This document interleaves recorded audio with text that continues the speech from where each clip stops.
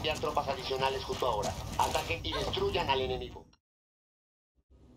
Santísima Muerte is my rock, my fortress, my deliverer.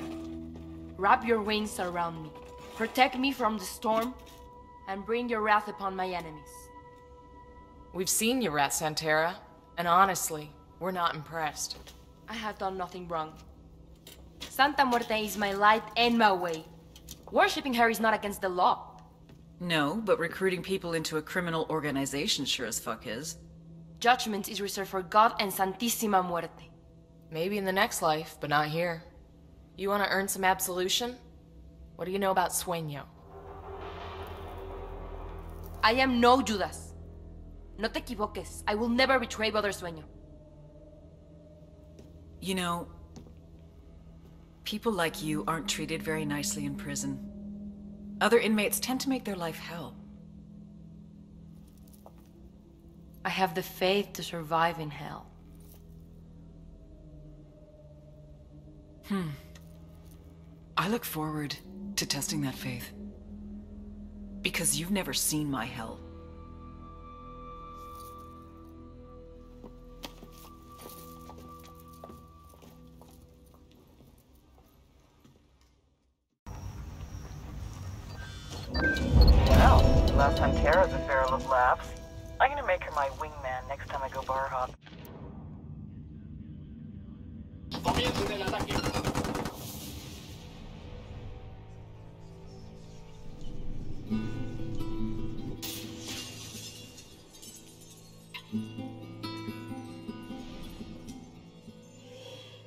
Great writer Balzac once said, To have a family is to become hostage to fortune.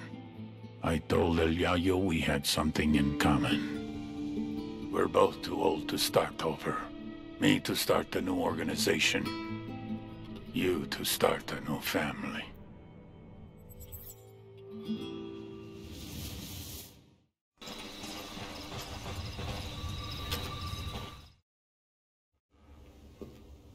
I should have known. CIA has brought in her own sicarios. Simon Bolivar said the United States was destined to plague the Americas with misery. Now that misery is upon my house. He says Sueño has his family. You could have led with that. These four gunfighters are your best last hope at saving your family. So are you gonna play ball, or are you gonna bury more kin? Save my family. Then I decide if I will talk.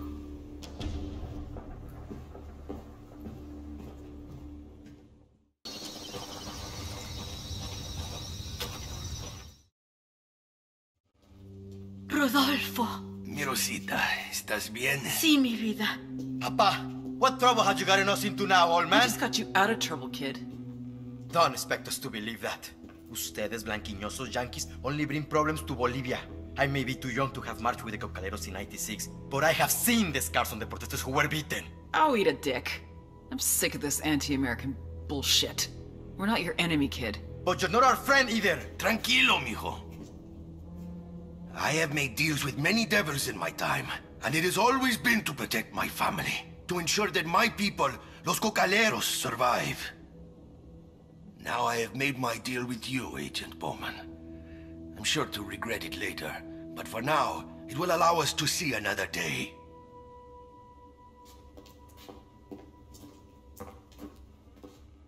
That's right.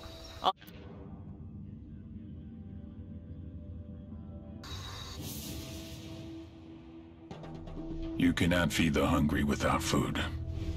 You cannot heal the sick without medicine. And you cannot satisfy demand without a product.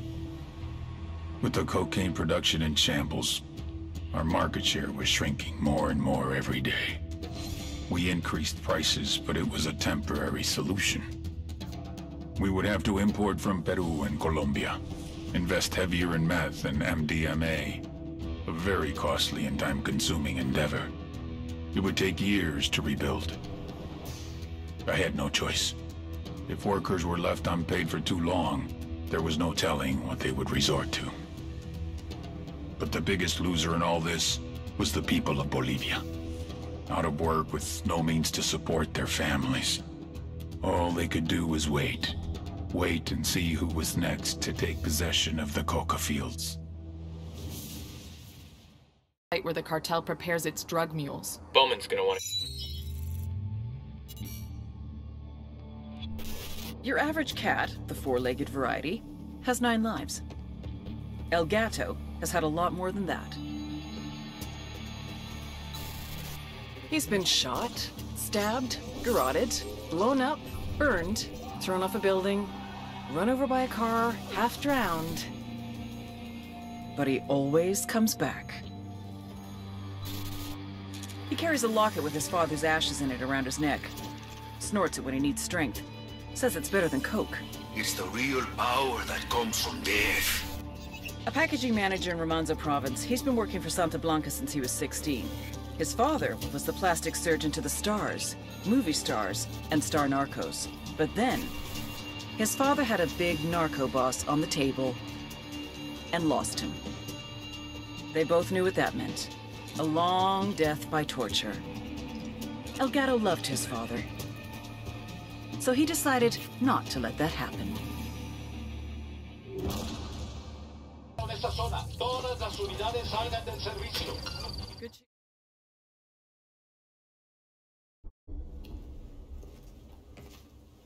How many times do I have to tell you? I'm just a chemist. It's okay. I get it.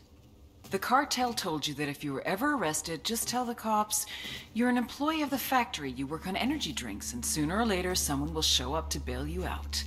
Am I right? Let me clarify the situation for you.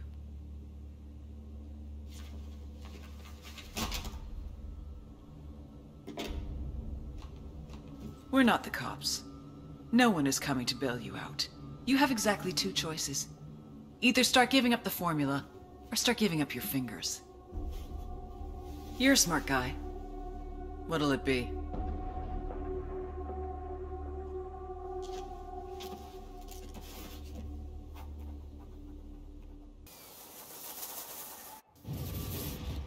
Here's a lesson in cocaineonomics. The biggest mistake most people make is focusing solely on the product. Claro, you need something to sell, but that's not where you make the money. One kilo of coca leaves costs about a dollar fifty. It takes 400 kilos of coca leaves to make one kilo of cocaine. Even when turned into cocaine base, a kilo is only worth 1200 in Bolivia. However, every time you cross a border, the value increases. Once we reach Colombia, it's already 2200. We hit southern Mexico, 12,000. Cross the border into Texas, 20,000. New York City, our $1,200 investment is now worth 35,000. Paris, London, 68 to 74,000. It's a pipeline that carries the product to the people that need it. Sustenance for the thirsty. Once in place, the pipeline feeds itself. Workers, vehicles, wages, bribes. But when there's a clog in the pipe, Uh, they took out another shipment. We lost seven tons last week. Four planes the week before? the water backs up. There's too much surplus. We can't keep it secure. My men are selling to each other. We can't pay people if they're not moving product. They're kidnapping civilians for ransom money. Too much water. We have to take Valeria and go. He'll kill us before we leave the country. Then what's the answer? When I find it, I'll let you know. And you drown.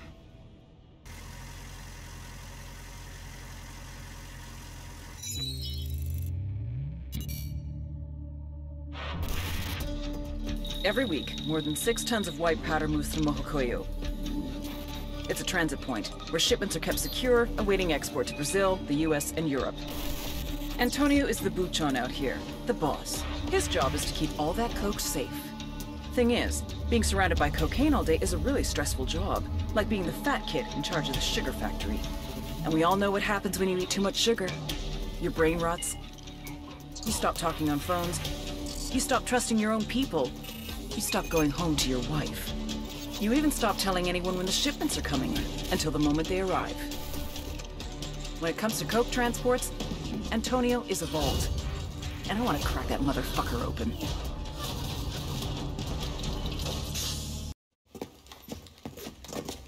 Antonio, it's such a pleasure. Vete a la verga, bitch. Stop flirting, you little slut.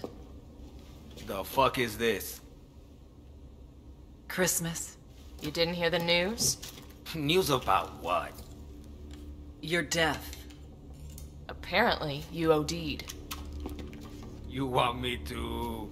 I want to see your brain on drugs, Pendejo. One way or another.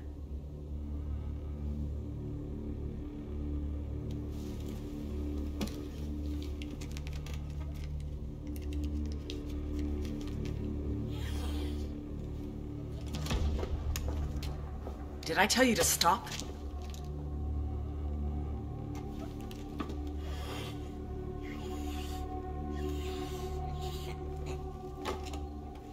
Keep going.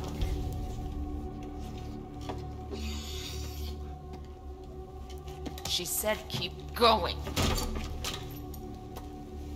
I... I can't. My heart feels like it's gonna explode. Please, That's the point. Now clean your plate. please. You want Nidia Flores, right? She's in Jalisco. Jalisco, Mexico. Santa Blanca is investing in meth. I don't know how long she's there, really. The first step to recovery is admitting you have a problem. And you, my friend, have got a big fucking problem.